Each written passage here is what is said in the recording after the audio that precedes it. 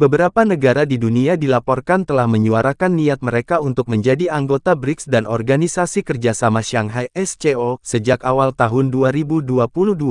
Negara-negara anggota organisasi antar pemerintah ini kabarnya menyambut baik aspirasi mereka.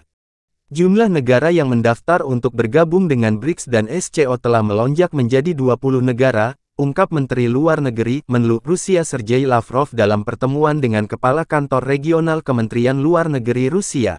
Perlu disebutkan bahwa selama beberapa tahun terakhir, termasuk selama tahun pertama operasi militer khusus Rusia di Ukraina, jumlah negara yang ingin bergabung dengan BRICS dan Organisasi Kerjasama Shanghai telah meningkat secara dramatis. Sampai sekarang, ada sekitar 20 dari mereka, ujar Lavrov memberitahu.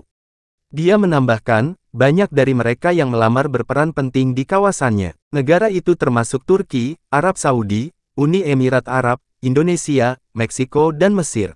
Menlu Rusia mencatat daftar negara-negara ini sendiri dengan jelas menunjukkan kegagalan upaya Barat untuk mengisolasi Rusia, yang merupakan anggota BRICS dan SCO.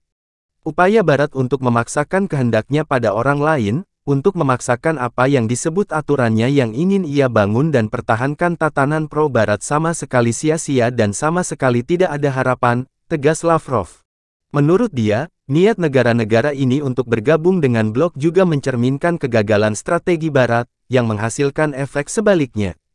Lavrov menjelaskan, pemahaman tentang proses tektonik geopolitik, mendorong negara-negara itu untuk bekerja sama dengan mitra yang berpikiran sama.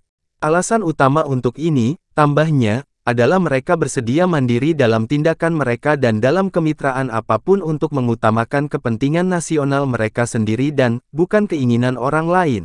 Dalam hal ini, kerja sama dengan Rusia, serta dengan negara-negara anggota blok regional lainnya, memberikan bidang interaksi yang luas, papar dia.